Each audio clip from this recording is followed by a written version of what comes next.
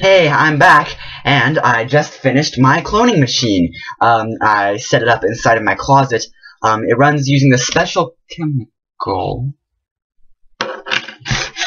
Huh. I must have misplaced the chemical. Um, no matter. I guess I can. I guess I can explain how it works. Um, uh, it works using a special catalytic convert. Hello, fight? What the flip?